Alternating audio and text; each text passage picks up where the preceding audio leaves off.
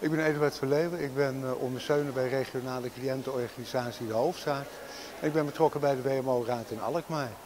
Um, er is me gevraagd iets te vertellen over de GGZ. Uh, de begeleiding uit de AWBZ die gaat dit jaar en komend jaar uh, vanuit de AWBZ naar de WMO.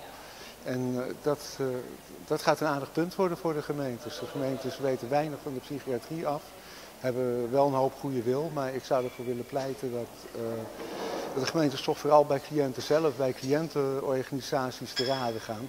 Van wat is er precies nodig uh, voor, de, voor de gemeentes om aan te bieden aan GGZ-cliënten. Ga ook naar wat hebben die cliënten nodig en doe dat vooral in samenwerking met uh, cliëntorganisaties. En dan heb ik het over de organisaties die echt opgezet zijn vanuit cliënten. En, en, en die dus ook het beste contact hebben met cliënten.